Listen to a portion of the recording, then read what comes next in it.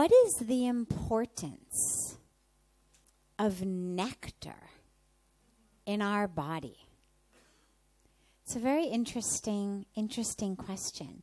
Um, nectar, when when we speak about it in a an Indian spiritual standpoint, we use we use terms like amrit, sacred, divine nectar which is literally the juice, the essence in our bodies and in our lives. But also, when you speak about pran, which is our life force, or when you speak about ojas, which is also the, the sacred force, the energy of the body, these are also sometimes referred to as nectar. So I'm going to take them take them collectively. Well, the importance of it is it's what gives us life. Pran is literally our life force. So when the soul departs the body at death, we talk about the pran leaving the body, the breath leaving the body when statues, deities in Hindu temples are, when they're done being sculpted by the artist and they are installed in the temples, there's a ceremony called the Pran Pratishta, which is actually a very, very sacred, scientific, many day long, intricate ceremony of literally breathing life, breathing pran into the statue. And that's why, as a very quick but important diversion, people think that Hindus worship idols, and the Hindus always say, no, no, we're not worshiping idols. See, actually, the sacred breath has been brought into this. This is not an idol, this is the divine who has been gracious enough to come into this form. But with the pran pratishta ceremony, with the bringing in the breath, it literally goes from being a statue to being a deity, an, an image of the divine, a holder of the divine, a way of us to access the divine. So, on the one hand, it's literally our life, our physical life. You need it to be alive. Go a step a step deeper. We'll begin with the most physical, grossest level. Pranas, life. You have it, you have a lot of life. You don't have it, you no longer have life. You may have a body, but you no longer have life take it a step a step more subtle. Because the pran is not only physical life, it's also the quality of our inner life. And that's where it's slightly distinct from breath. The translation, the literal translation of pran is not just breath. So it's not simply oxygen it's actually an energy and a power and a life force that comes in. So it's deeper than simply oxygen. And therefore, it determines the quality, which is where you have practices like pranayama. How do we use the breath?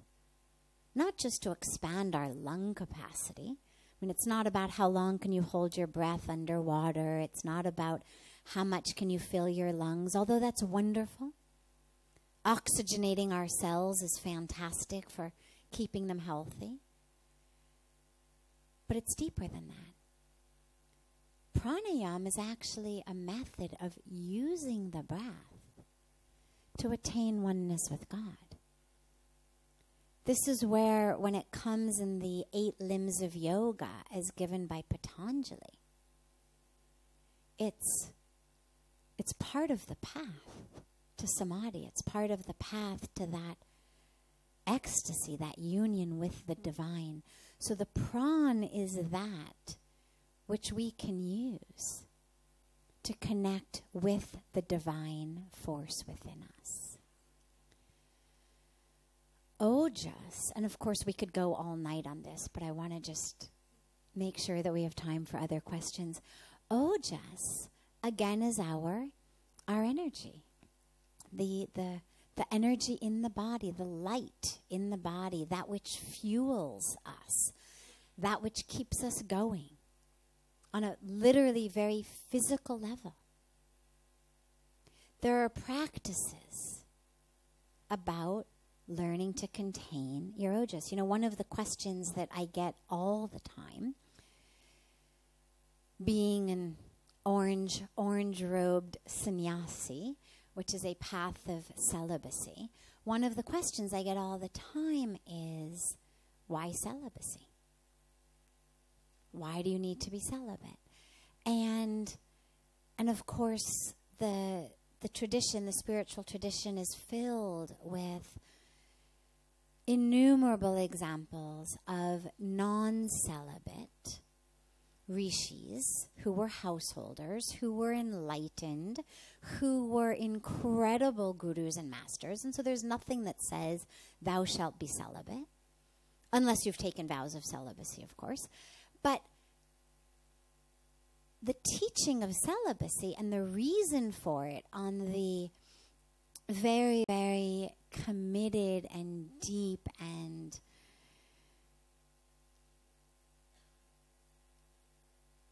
I don't want to use the word sacrifice, it's got such a negative connotation, but a, a path of spirituality in which it's spirituality above all else. Spirituality before all else. On that path, one of the critical reasons for celibacy and why it's such a core component is because it's believed that sex is one of the things that depletes our ojas. Which is why even married couples even people who are not celibates, who are not sannyasis, are always, always instructed by spiritual masters. Like, use this carefully. This is not just whenever, wherever, however, at any time, whenever, you know, the urge hits. That, that energy is precious. And if you, if you lose it as it is believed you do in sex, that has very, very significant ramifications on both your physical health and your emotional and spiritual health. So that's not all that ojas is, but that's one one very important aspect of it is it's it's the juice that runs us that keeps us keeps us able to stay to stay healthy, to stay energized, to stay full of light. Then we speak lastly about amrit, that nectar, that juice, and that that's really that which flows through us. We speak a lot about ras, spiritual juice. And you'll hear you'll hear Pujya Swamiji sometimes very sweetly talk about how life should be juicy, juicy. And it's something he says very, very frequently, and everybody everybody giggles a little bit. But the meaning the meaning of that really is your life should be filled with nectar, with ras, that it shouldn't it shouldn't be dry. You could have a physical body Food fills a physical body. Medicine take, takes care of a physical body. Clothes protect a physical body. But if you don't have that juice, then you may have days in your life, but not life in your days. And so, nectar is really that which brings the juice to life. And so on all of those levels, it's it's crucial whether you want to be just physically healthy, whether you want to be spiritually full of light,